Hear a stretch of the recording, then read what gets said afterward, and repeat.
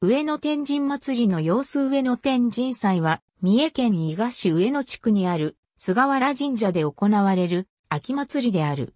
ユネスコ無形文化遺産、国の重要無形民族文化財に指定されている。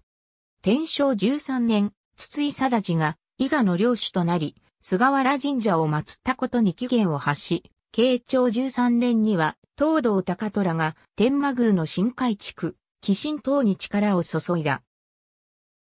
その後天那2年に天神祭礼倹約令により省略されているが、元禄元年には復活し、東道高久が祭礼を、木内奥古典により見物、田楽、能、狂言等が行われ、三の町の鬼行列も始められたとされ、おおよそ現在の形態を整えたとされる。京都の祇園祭りの山鉾に似た、だんじりの巡行と鬼行列が有名であり、みこしの渡御を中心とする祭りに、仮想の行列や作り物が加わり、現在のような鬼行列や、印、だんじりで賑わう形態を整えるようになったものである。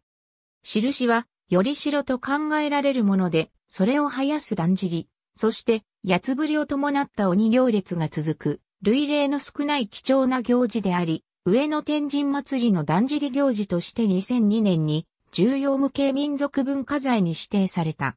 なお、巡行の経路には、伊賀鉄道伊賀線の踏切があり、天神祭開催時には、河川のかさ上げが実施される。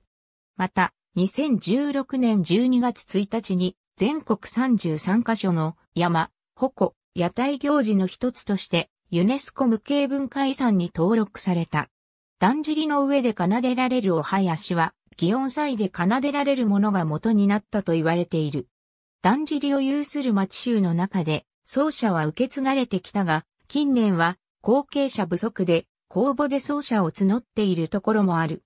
だんじりの最初の稽古には神社へ行き、お祓いをしてもらうところもある。本祭りのだんじりの順番は、くじで決められる。鬼行列、みこし、だんじりの参加はそれぞれを所有している町民が基本的に具部する。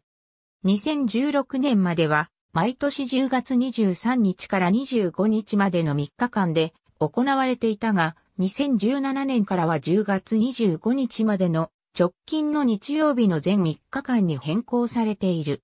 なお、上野天神祭りの例大祭は従来通り10月25日。以下の9期が巡行する。上野相生町、上野高野町、上野山の西町の縁の行者列と、上野特許町の鎮西八郎玉友列からなる四町によって、伝統が引き継がれている。ありがとうございます。